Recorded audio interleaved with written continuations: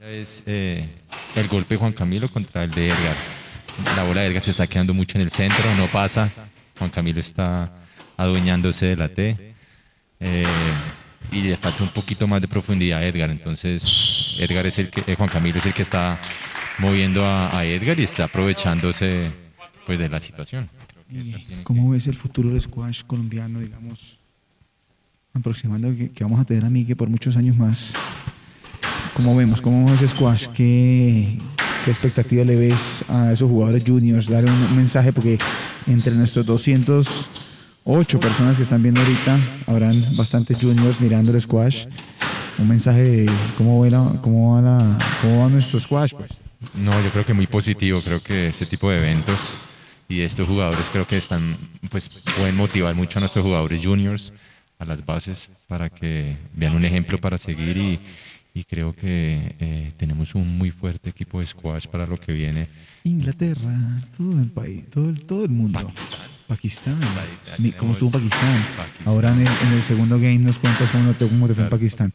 Tierra, la gente me preguntaba a mí, ¿y Miguel qué hace en Pakistán? Pakistán, por favor. A probar la ¿Cómo comida. va? Primer game para, para Juanca, primer game para 1-0 Juanca. para Juan Camilo Bien este año y, y yo sé que él tiene un poco más de juego, obviamente eh, está con la presión de que es una final, eh, no tiene mucha experiencia en, en- en jugar eh, finales, yo sé que ha jugado muchos torneos a nivel suramericano, eh, pero creo que tiene que soltarse, no tiene nada que perder, tiene que armar un plan B, porque creo que solamente está esperando que Y ahí es donde Juan Camilo mete presión.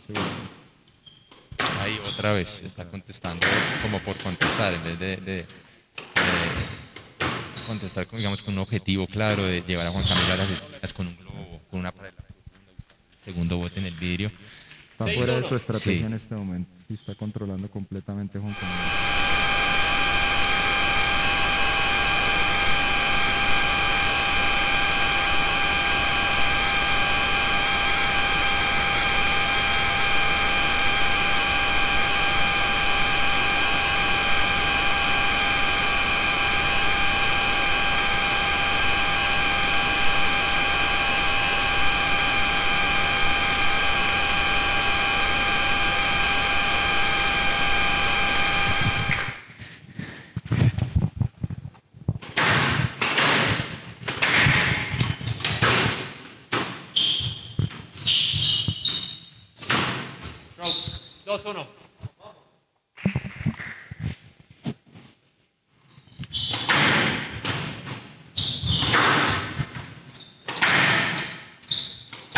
A mí me encanta que Juanca vino esta mañana a entrenar la cancha de vidrio. Cogió este torneo tan en serio que me llama, me dice Sergio, vamos a entrenar.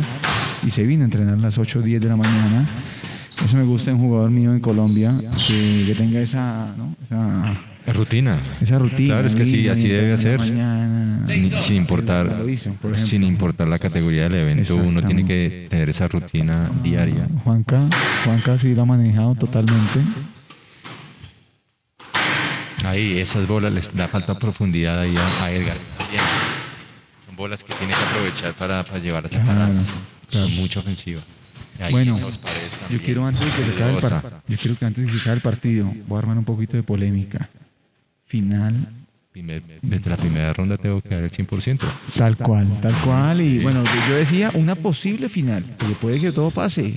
Juanjo está Sí, jugando muy claro. bien. Y, la can- y, vam- y vamos a, está bien, cancha diferente, vamos a, Ya, vamos a jugar en cancha, cancha, cancha blanca, normal. cancha blanca, Entonces cancha también blanca. cambia mucho, va a cambiar mucho el juego. Sí, tal cual, tal cual. Jue- el Villavicencio la bola es más lenta, la pared allá es al, al contrario, la bola se chupa ya en la pared frontal, se frena mucho en las esquinas de atrás.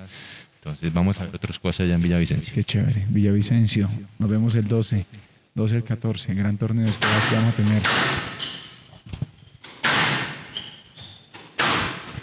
Miguel, le cuento, el gobernador de El Meta, enamorado del squash.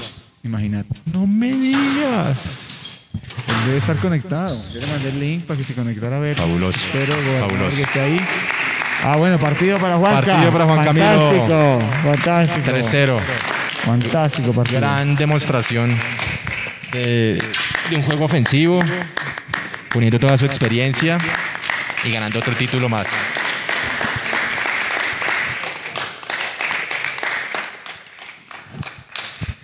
Va, y el campeón de este PSA Challenger, un torneo que de verdad para nosotros fue una una odisea en esta época de pandemia. Estoy demasiado feliz de que, de que se haya hecho y muy contento por mi equipo, porque son mis jugadores, Juanca, que lo hemos visto, Juan Camilo Vargas, campeón.